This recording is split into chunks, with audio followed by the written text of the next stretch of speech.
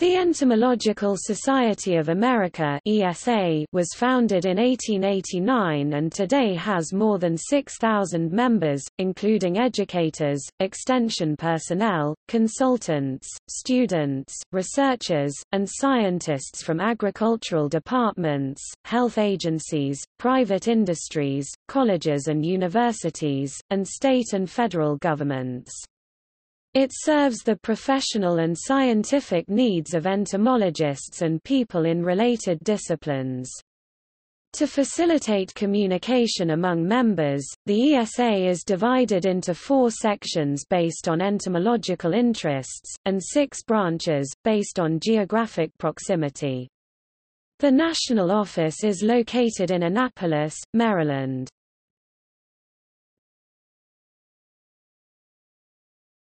Topic: History. In 1889, the American Association of Economic Entomologists was founded by Charles V. Riley, primarily focusing on economic entomology. In 1906, the Entomological Society of America was organized to address the needs of the broader dimensions of biology, taxonomy, morphology, and faunistic studies of insects.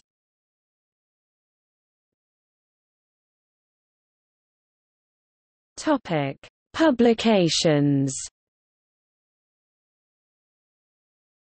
ESA publishes eight journals in partnership with Oxford University Press. Annals of the Entomological Society of America.